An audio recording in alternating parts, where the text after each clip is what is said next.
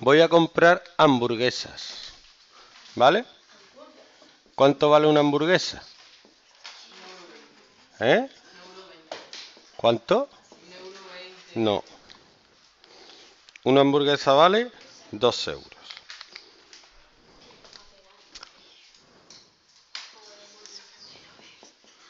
Una hamburguesa vale 2 euros. Voy a hacer una tabla para saber si voy yo solo. Si voy yo solo, ¿cuánto dinero tengo que pagar? Muy bien. ¿Y si voy con otra persona? ¿Y si vamos tres? ¿Y si vamos cuatro?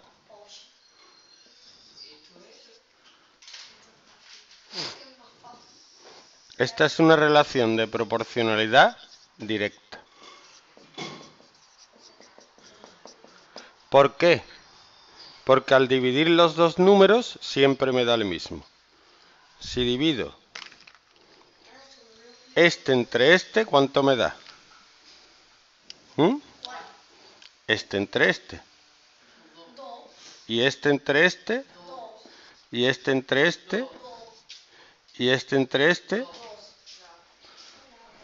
Bueno. Pregunta. No. Eso es una tabla, cómo rellenarla y cómo saber si es directa o inversa. Pasa, pasa. Ahora. Ahora, ¿qué hago con esta tabla? ¿Me la como? Venga.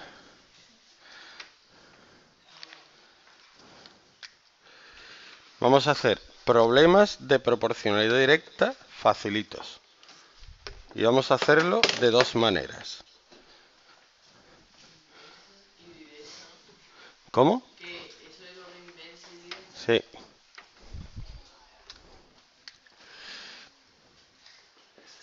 Compro tres pasteles y pago 12 euros.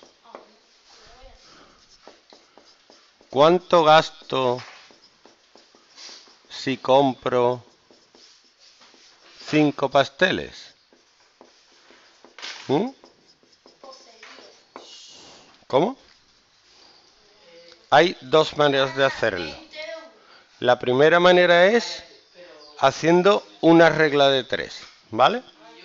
Si tres pasteles me cuestan 12 euros, cinco pasteles me cuestan X. Y para despejar la X multiplico 5 por 12 y lo divido entre 3. 60 entre 3, 20. Esta es una manera de hacerlo. Por regla de 3. ¿Os acordáis? Eso. La otra es reducción a la unidad. Vamos a ver, Paquito, deja de spoilear, ¿vale?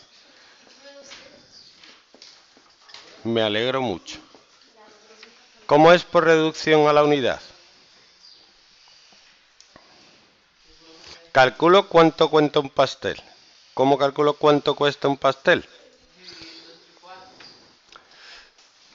Divido 12 euros, que es lo que pago en total entre tres pasteles. Y me sale que me cuesta a 4 euros el pastel y luego multiplico 4 por